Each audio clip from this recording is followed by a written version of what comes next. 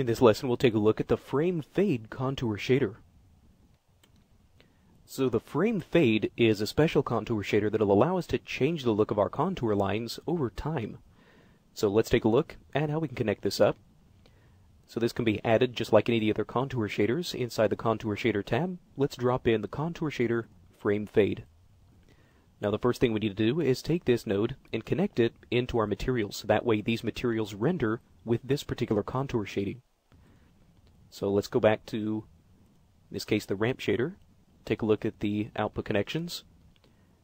So that way we can gain access to its shading group. We'll take this node, middle click, drop it into the contour shading tab.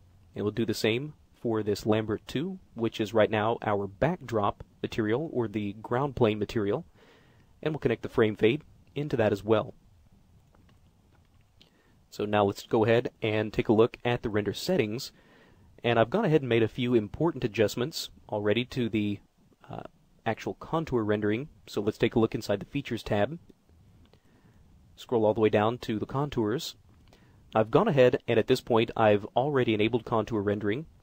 I've already made sure that we have it set to render the contour lines between different materials and I've already made sure that we have the normal contrast set to a fairly high level. That way we can make sure that we get all the corners of this cube to render with a contour line. Other than that, you really won't have to do anything. This particular shader does not have to have the custom contrast or store shaders applied in order to make it work correctly. So with these options turned on, let's render what we have. And you can see that right now we have a white contour outline around our geometry. So what we can do is if we take a look back inside the Hypershade, is make a few adjustments to the actual attributes for this. So within the contour shader frame fade, we do have the ability to control at frame 1, we have a predefined color. So in our case, we could choose maybe something like a nice bright orange color, and that width, or this contour line, will render out with a width of 1. By frame 10, we can tell it to fade to this other secondary color. In our case, we can maybe just leave this black just to see what this looks like. And by this point, this will render out with a line width of 0.2. So right now we have our timeline set to frame 1.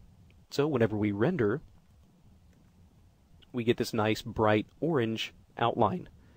And if we move ahead to frame 10 and re-render, we should now start to see these thinner black contour outlines. And you can see that's exactly what we have. And if we were to move somewhere in the middle, we should start to see sort of a mixture of this orange and black beginning to take effect. So this really does start to become a really nice way of controlling your overall look of your contour lines over some kind of a predefined period of time.